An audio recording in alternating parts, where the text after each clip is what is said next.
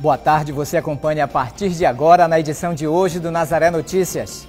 Chuvas e cheias de canais trazem prejuízos a motoristas. Lista de animais em extinção é importante para a preservação da fauna brasileira. Pacientes em hospital em Altamira são vítimas de golpes. O EPA divulga a segunda chamada para o Procel. Projeto social ajuda no tratamento do mal de Parkinson. A Arquidiocese de Belém lançou aplicativo para informar sobre o Congresso Eucarístico Nacional. Teatro Margarida Esquivazapa completa 29 anos de arte. Hoje é terça-feira, 23 de fevereiro, e o Nazaré Notícias já está no ar.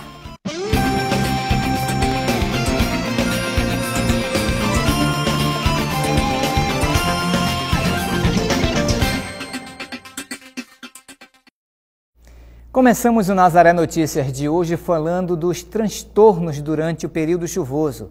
Durante este período, na capital paraense, como em outras capitais brasileiras, as dificuldades de locomoção ficam mais frequentes devido aos constantes alagamentos e, com eles, outro grande problema para proprietários de veículos. Os prejuízos podem afetar as finanças dos motoristas. Os alagamentos são cenas típicas em Belém durante o inverno amazônico. Perguntar se os motoristas já enfrentaram ruas alagadas, a resposta não poderia ser diferente. Muitas, muitas. Eu acho que o bairro que sofre mais com alagamento aqui é o bairro do Jurunas. E muitas, várias. Várias, várias, várias. Tem medo de passar. Prefere. É, não tem atalho para pegar. O atalho que a gente pega tá cheio também. É complicado andar em Belém assim desse jeito. A revisão do veículo é um processo muito importante, principalmente durante as chuvas. Principalmente parte de freio, porque tu exige mais, porque fica muito escorregadio as vias. É importante que os motoristas tenham todo o cuidado durante esse período, porque dependendo do carro e do problema, os prejuízos podem passar de 6 mil reais. Após passar por alguma rua alagada, o veículo sofre panes, o que gera danos em muitas peças. A gente sempre pede para os nossos clientes evitarem passar sobre ruas alagadas, porque se o motor do carro aspirar água, o dano é imenso para o cliente com perda da quebra do motor.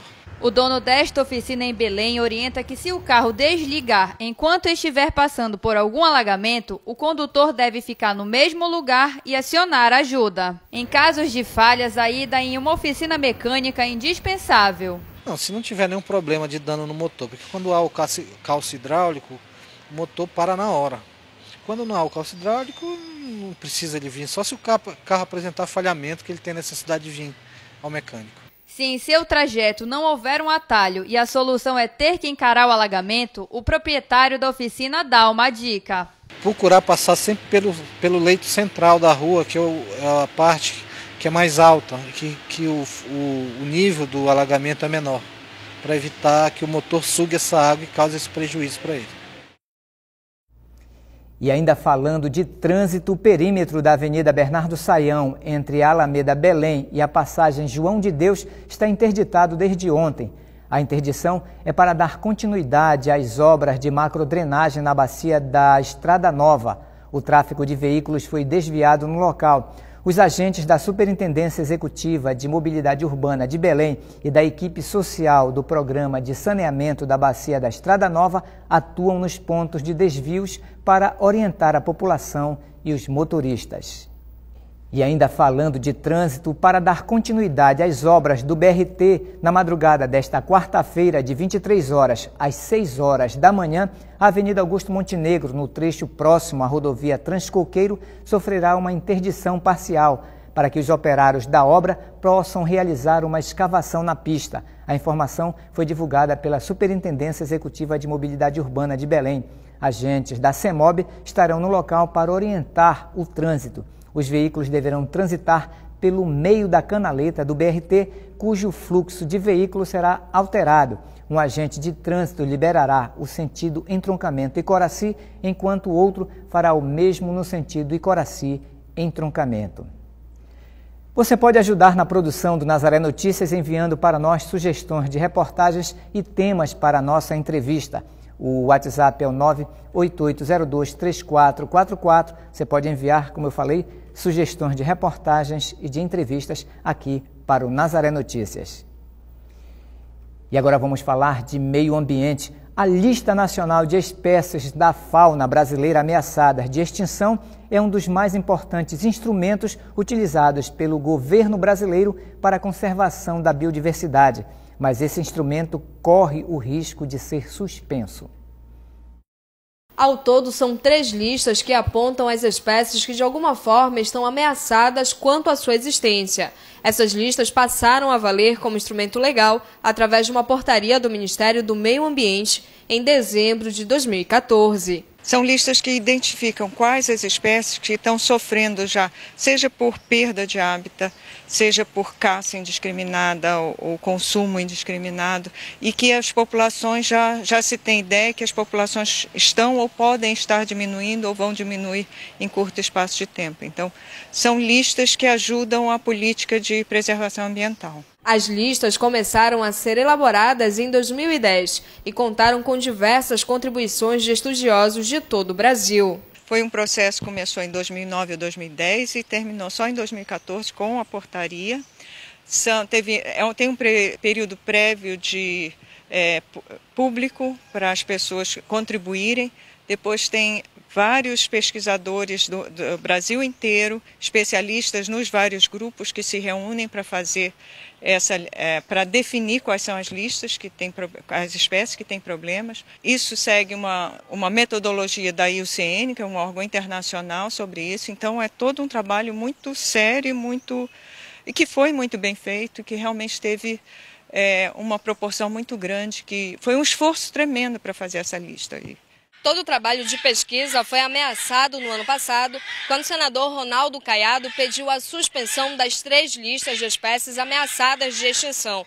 O ato causou mobilização nacional. Ele retirou agora, porque houve muita uma reação muito forte agora que ela veio mais a público, que as pessoas tomaram conhecimento. Então houve uma reação muito forte, eu imagino que seja por isso que ele esteja tenha retirado. Mas ainda corre-se o risco. Não, não, não, se sabe exatamente como ele vai fazer agora proceder, mas seria uma perda inestimável, além de um desperdício de todo um esforço público e nacional para fazer essas listas. As listas assumem grande importância nacional de preservação da fauna e da flora brasileiras a proteção ela é para que permita que essas espécies sobrevivam. É, uma das coisas que ele alega é que isso vai prejudicar o, o senador Ronaldo Caiado, que isso vai prejudicar, pode prejudicar a agricultura, pode ser espécie praga. Espécie praga nunca vai estar ameaçada, porque ela é praga, é exatamente o oposto. Uma espécie que, que, vá da, que cause problemas à população provavelmente não está ameaçada, porque é o oposto. São, só de invertebrados, tem 120 mil espécies. Então, quando ele fala que formiga está. É, a formiga está na lista, formigas são centenas de espécies, algumas podem estar ameaçadas e felizmente ainda é uma proporção pequena, mas a gente tem que tomar cuidado. Já está chegando ao nível de uns 10% da nossa fauna. Isso é muito grave. E vamos voltar a falar sobre meio ambiente. Mais da metade da água distribuída por companhias de saneamento aqui na região norte são perdidas antes de chegar ao consumidor final. As perdas de água na região atingem 50,8%, enquanto a média nacional é de 37%. O estudo Burocracia e Entraves ao Setor de Saneamento, produzido pela Confederação Nacional da Indústria, estima que a meta do Plano Nacional de Saneamento Básico de reduzir as perdas a 33%. A redução anual média observada na região é de 0,3 ponto percentual, inferior à média de 0,9 que seria necessária para alcançar a meta. E agora o assunto é um tipo de golpe já conhecido que tem feito vítimas em Altamira. Funciona assim: o golpista liga para a família de um paciente do Hospital Regional da Transamazônica, dizendo que para realizar algum tipo de procedimento específico, a família precisaria depositar dinheiro em uma conta que o próprio golpista informa. O Hospital Regional da Transamazônica é público e nunca autoriza nenhum tipo de cobrança dos seus usuários. Pelo menos três famílias já teriam sido vítimas do golpe. No caso da família do pedreiro Robson da Silva, a mãe dele está internada na UTI do hospital à espera de uma cirurgia. Os golpistas ligaram para Robson dizendo que para fazer essa cirurgia, a família teria que pagar R$ 1.300 ao hospital. O dinheiro deveria ser depositado em uma conta que foi informada pelos próprios golpistas. A sorte foi que Robson e a irmã resolveram procurar o regional antes de qualquer pagamento. Queria que a gente depositasse um dinheiro numa conta, que a minha mãe, que está internada lá no, no regional, ia ser operada. Aí esse dinheiro era para depositar para fazer a operação dela, só que a gente foi lá no hospital e eles falaram para a gente que não, que lá tudo é de graça. Nós conversamos com outras pessoas que também foram vítimas desse mesmo golpe. Uma delas também não chegou a pagar o dinheiro para a quadrilha porque sabe que o hospital é público e qualquer cobrança é indevida. Mas agora sente muito medo de qualquer tipo de perseguição por parte dos criminosos e por isso preferiu não gravar com a gente. Em comum, as vítimas ainda não entendem como os criminosos tiveram acesso a registros do tipo nome, grau de parentesco e número do celular de cada um deles. E eu não sei como sabe, que como é que ele sabe que a, que a minha mãe está internada lá. Sabe até o nome. Apesar do susto, esse tipo de golpe já é conhecido no Brasil. Para evitar prejuízos, não ser enganado, a Polícia Civil orienta que as pessoas fiquem atentas às informações que são dadas nesse tipo de ligação. A orientação é que essa pessoa ignore essa, esse tipo de ligação. O hospital regional ele não vai cobrar pelo serviço, qualquer serviço prestado lá. É, são golpistas né, que estão aplicando é, golpe nessas pessoas no sentido de cometerem crimes de extorsão, estelionato, e quando, principalmente quando o número é de outro estado. Então é importante a população ficar ciente disso. O hospital regional não vai cobrar pelo serviço. E a partir do momento que recebe essas ligações, ignorar, desligar o celular, enfim, não, não atender esse, esse tipo de ligação. Se você já foi vítima ou receber qualquer ligação desse tipo, percebendo que é um golpe, deve ir até uma delegacia mais próxima registrar um boletim de ocorrência. Sabendo de detalhes do caso, fica mais fácil para a polícia identificar os criminosos. As pessoas que foram vítimas desse golpe têm que vir aqui na delegacia de polícia, registrar um boletim de ocorrência, relatar como foi que a pessoa do outro lado é, se reportou esse, é, essa questão do, da cobrança, enfim, detalhar para a gente tentar apurar e identificar esses autores que estão é, fazendo esse tipo de, de ilícito. Ela pode responder por crime de extorsão, estelionato, crimes que cabem prisão e é, é fácil de identificar. A gente judicializa isso e consegue identificar, sim, os autores é, desses números de outros estados que estão se utilizando para poder ligar para essas pessoas aqui, no caso de Altamira, e poder identificar a autoria desse, desses ilícitos aí. E agora você acompanha a previsão do tempo para amanhã na Amazônia.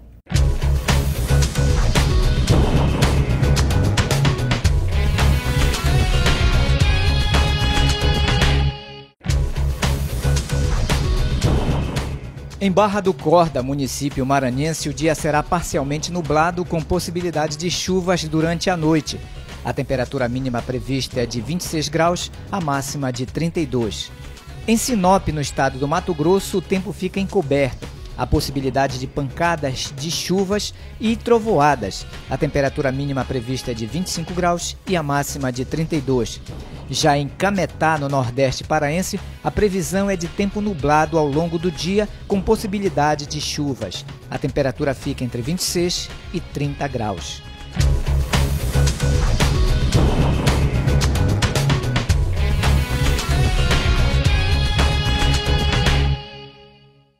E agora nós vamos falar de ensino superior. A Universidade do Estado do Pará divulga hoje a relação dos candidatos convocados na chamada subsequente do processo seletivo 2016. A lista estará disponível também no Diário Oficial do Estado. Também serão chamados os candidatos do PRISE e do processo seletivo específico de licenciatura em letras, língua brasileira de sinais. O preenchimento de vagas para a chamada subsequente segue a ordem decrescente da nota obtida pelo candidato não aprovado. Para mais informações, basta acessar o site do Diário Oficial do Estado e também da Universidade do Estado do Pará, que é www.epa.br. Caroline Guimarães para o Nazaré Notícias. E você acompanha no próximo bloco do Nazaré Notícias. Projeto social ajuda no tratamento de Parkinson. A Arquidiocese de Belém lançou o aplicativo para informar sobre o Congresso Eucarístico Nacional. Teatro Margarida Esquiva Zapa completa 29 anos de arte. Voltamos com Nazaré Notícias falando de um projeto social que é realizado pela Universidade do Estado do Pará para promover ajuda no tratamento de pessoas com o mal de Parkinson. A doença não tem cura e atinge mais de 200 mil brasileiros. De acordo com a Organização Mundial da Saúde, o mal de Parkinson atinge 1% da população mundial acima dos 65 anos. Estima-se também que a doença acomete 200 mil brasileiros. O Parkinson é uma doença neurodegenerativa, que resulta na morte dos neurônios responsáveis por passar a substância dopamina ao cérebro. Ela está associada com a morte de alguns neurônios que liberam dopamina, que é um neurotransmissor que controla o movimento, o início e o término de um movimento. Nesses pacientes ocorre a morte desses neurônios. Como existe essa perda dessa substância no cérebro, eles têm problemas específicos, estão basicamente associados com a movimentação. Então, o que é clássico dessa doença é o tremor. Ele parado, ele tem tremor, mas a doença é muito variada. A doença não tem cura, mas para ajudar no tratamento, a Universidade do Estado do Pará desenvolve um projeto social com portadores da doença. O programa de treinamento resistido atualmente atende 40 portadores de Parkinson. As suas atividades atuam principalmente na reabilitação e na manutenção da massa muscular. O projeto ele visa dar um tratamento coadjuvante, porque a base do tratamento é a reposição da dopamina. Isso já está bem estabelecido na, na literatura científica. Mas o paciente que tem Parkinson, normalmente ele fica sedentário, porque ele tem grande problema de se locomover. Então, o nosso serviço auxilia fornecendo um trabalho coadjuvante, um tratamento coadjuvante que é o exercício. E a base, o desenho experimental nosso é a musculação. Por que a musculação? Porque a musculação, ela fornece duas coisas específicas. Primeiro, o ganho e a manutenção da massa muscular e segundo, o fortalecimento, o ganho de força. O projeto tem um ano e meio e seu Brito, como gosta de ser chamado, participa das atividades aproximadamente há um ano. Quando tinha 57 anos, foi diagnosticado com mal de Parkinson. Após praticar musculação, os sintomas melhoraram. Bastante. Bastante melhora mesmo. Só o que me incomoda mais é só a tremedeira, mas o resto das coisas, as câimbras, tudo passaram, graças a Deus, senti-me bem mesmo. As meninas aqui são super legais, os instrutores, tudinho. São todas as pessoas doutora que vem aí também, gente fina, todos eles. Durante as aulas, os professores procuram ser cuidadosos. Nós aplicamos a musculação tendo um pouco mais de cuidado, porque a doença exige esse cuidado. É, com o tempo ele vai perdendo autonomia pela, pela progressão da doença, então a gente acaba tendo um cuidado maior. Tem que estar tá sempre ligado, tendo cuidado para que ele não caia, porque a doença gera perda de equilíbrio, ter cuidado com as cargas para que ele não possa ter o excesso. A doença causa um descondicionamento músculo-esquelético no paciente. Segundo o coordenador, o projeto tem resultados satisfatórios. Com certeza, eles mudaram muito. Tem paciente que não quer mais deixar a gente.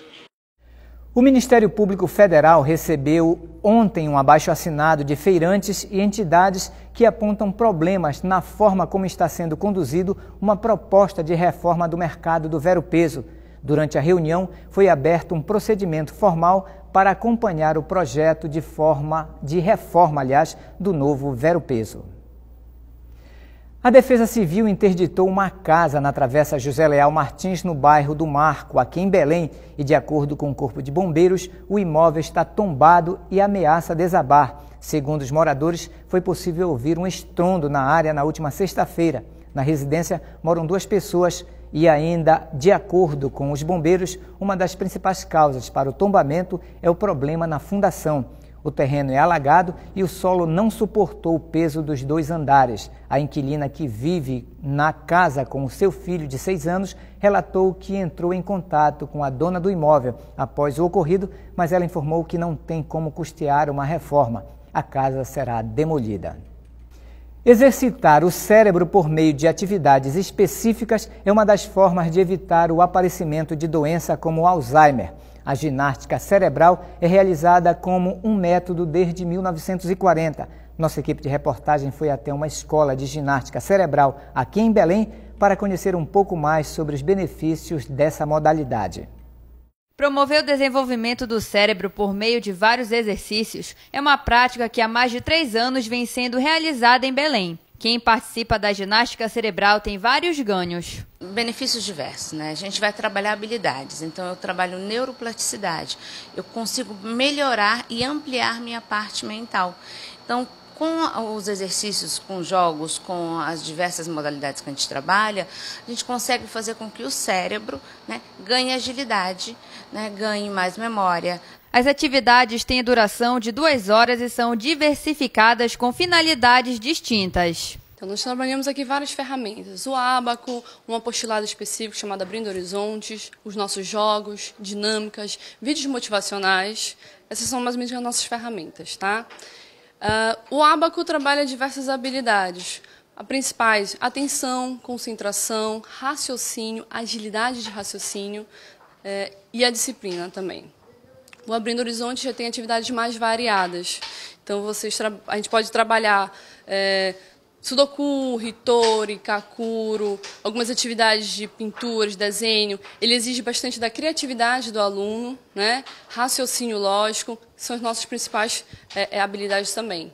Henrique trouxe a filha para participar dos exercícios e diz que a presença familiar neste processo de aprendizagem é fundamental. Participação, né? Estar tá junto com ela no, no processo educacional, né? com o apoio do Supera e incentivar ela sempre buscar o melhor, né? As crianças absorvem cada técnica e ensinamentos promovidos por meio da ginástica cerebral. Porque me ajuda com a matemática, quanto na escola quanto aqui. Porque elas me ajudam muito na, no desenvolvimento escolar, nas notas. E isso é de suma importância para o futuro. Os idosos também podem realizar as atividades, que para eles a prática só vem a somar. É, dá atividade na cabeça da gente, né? a gente fica mais espertinho na cabeça, aprende mais, concentra mais as coisas. Aí a gente tem aquele objetivo de alcançar o que a gente precisa, né? nossas metas. Os exercícios da ginástica cerebral são todos fáceis e simples.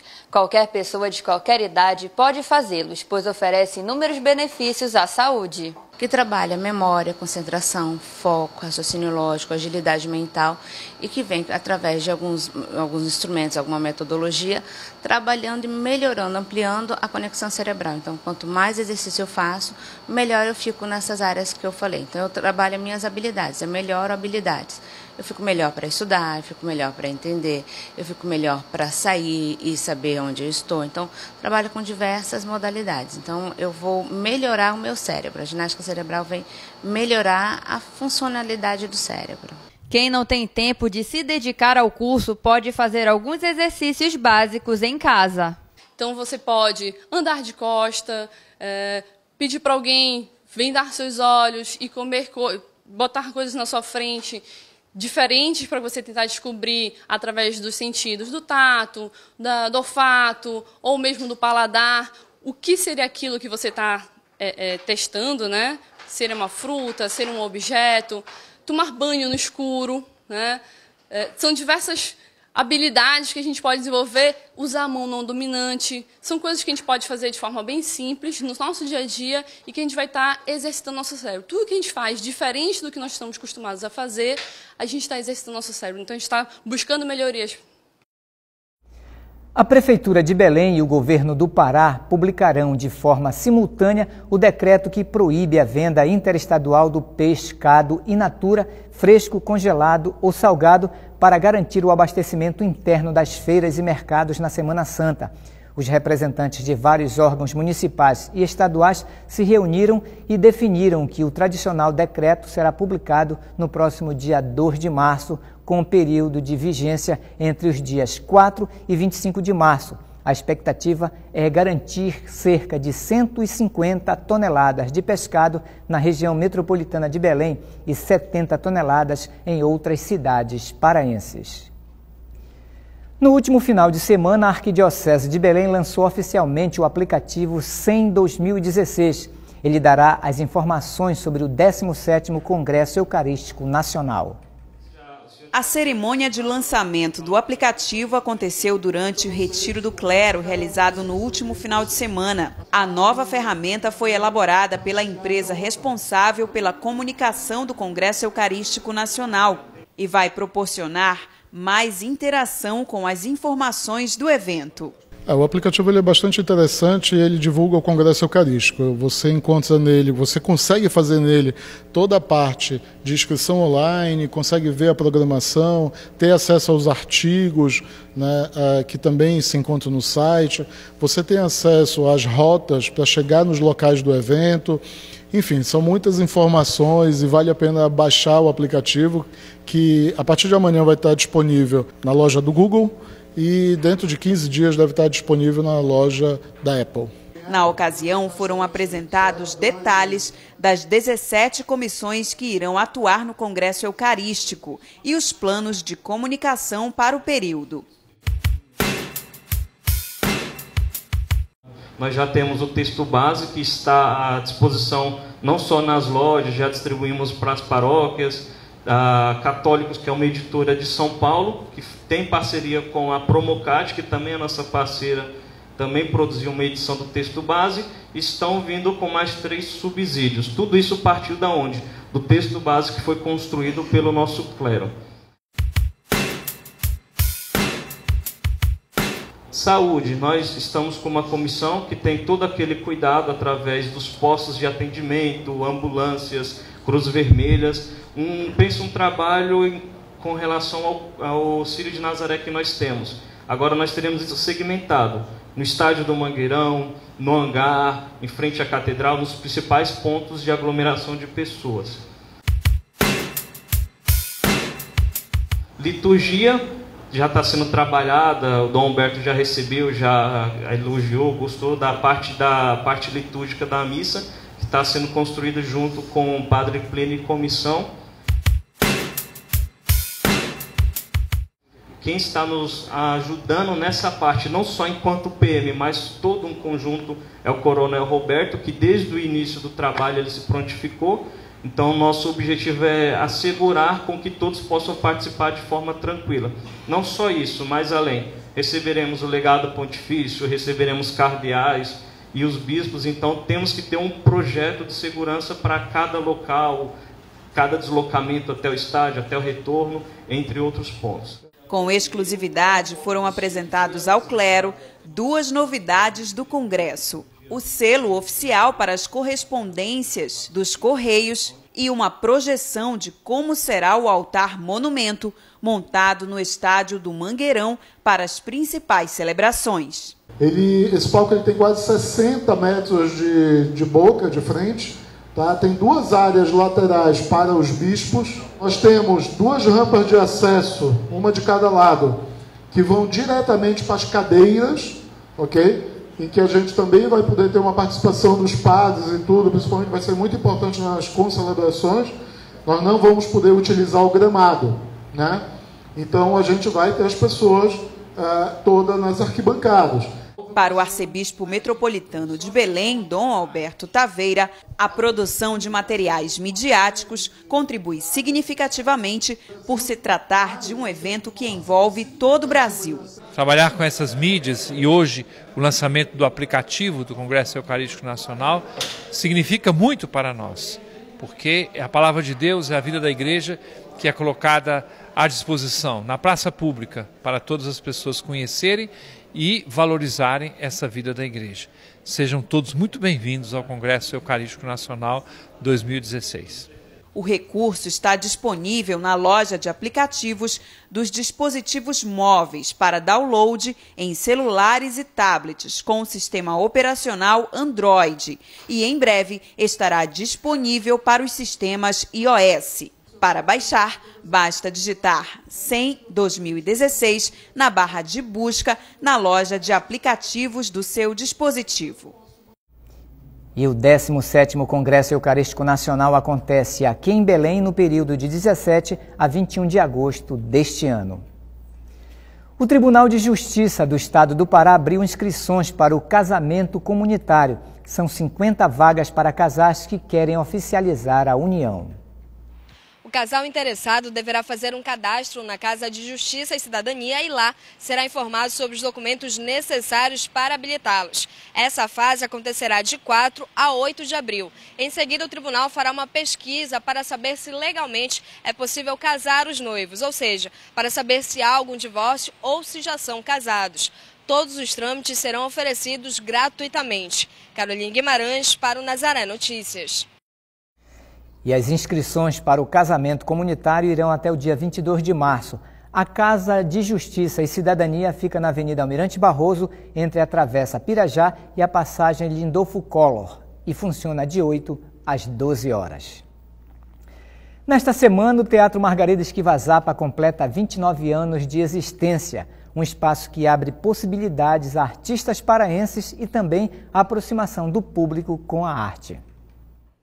Localizado no térreo da Fundação Cultural do Pará, o Teatro Margarida Esquivazapa é espaço de arte paraense e nacional. Inaugurado em 26 de fevereiro de 1987, o lugar assume grande importância para o cenário cultural de Belém. Por não ser um teatro histórico, ele é um teatro que fica mais próximo ao povo. O artista tem mais facilidade com pauta e ele recebe e ele também tem uma caixa cênica que tem a varia, a possibilidade de receber todo tipo de espetáculo, tanto de balé quanto de música.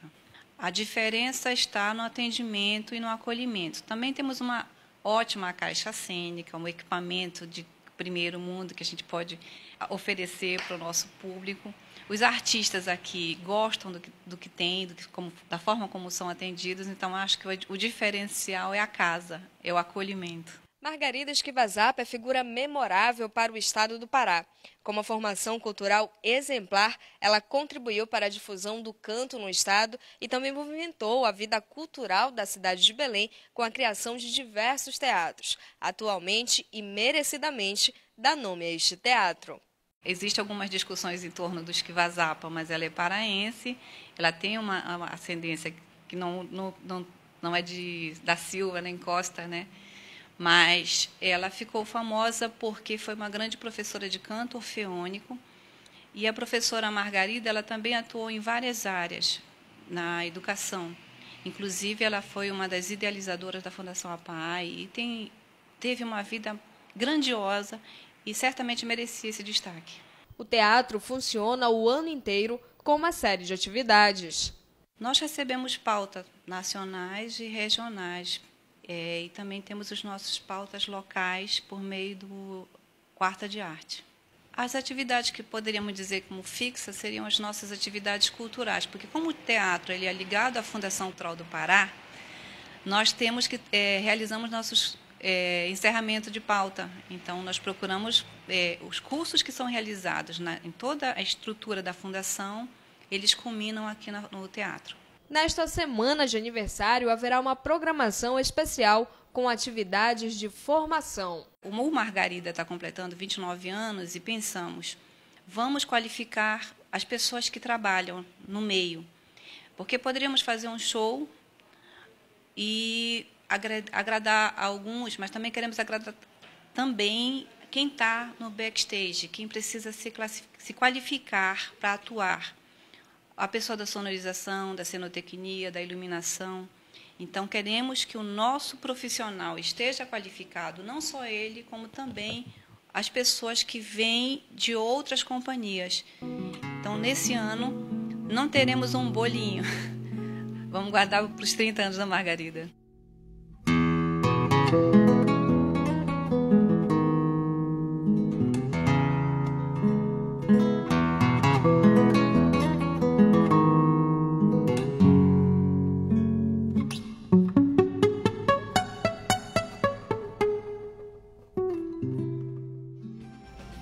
E essas foram as notícias de hoje. Para dar sugestões de reportagens, envie para o nosso WhatsApp. O número é o 988023444.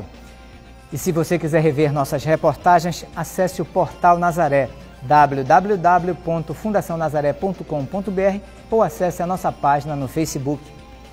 O Nazaré Notícias fica por aqui. Nos encontraremos amanhã na próxima edição. Até lá!